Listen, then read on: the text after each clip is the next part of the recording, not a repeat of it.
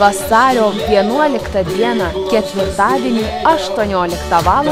Skuodo rajono kultūros centras visus kvies į vestuvinių muzikantų fiestą.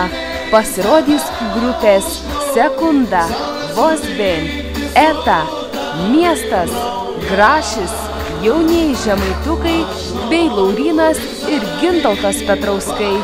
Renginį ves humoristė Eugenija. Nepraleisk linksmiausios šventės ir skubėk įsigyti bilietus jau dabar.